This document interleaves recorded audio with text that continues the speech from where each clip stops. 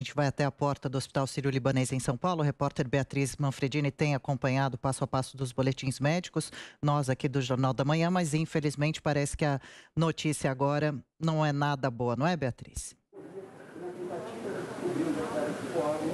É isso, Adriana, Marcelo. Infelizmente, nós recebemos agora a confirmação da Prefeitura de São Paulo. Agora, às 9h53, recebemos a nota que confirma a morte do prefeito de São Paulo, Bruno Covas, às 8h20 da manhã. O prefeito estava internado aqui no Hospital Sírio-Libanês desde o dia 2 de maio. Ele que, em outubro de 2019, descobriu um câncer na região da cárdia, que fica entre o estômago e o esôfago. Depois também descobriu já uma metástase nos ossos e no fígado. Como eu disse, então ele faleceu agora às 8h20 da manhã. A imprensa acabou de ser informada. Há uma informação de que o velório será na Prefeitura de São Paulo e o sepultamento na cidade de Santos, no, no litoral aqui de São Paulo, mas ainda vamos confirmar essas informações daqui a pouquinho com vocês. Por enquanto, a equipe médica não desceu aqui ao saguão do Hospital Sírio-Libanês para falar com a imprensa. Não sabemos se isso vai acontecer, mas desde sexta-feira, como a gente vinha falando aqui às sete e meia da noite, a gente já sabia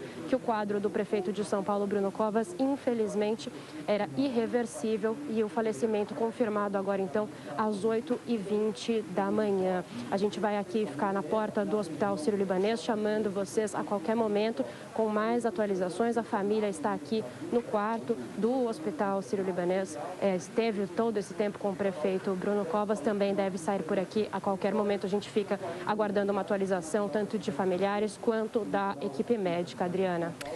Beatriz, a gente fica em contato de qualquer forma para as próximas notícias com relação a essa morte e, e, claro, todos nós da Jovem Pan, do Jornal da Manhã, sentimos muito pelo falecimento e desejamos força à família, especialmente ao menino Tomás, é, filho de Bruno Covas, que tem apenas 15 anos.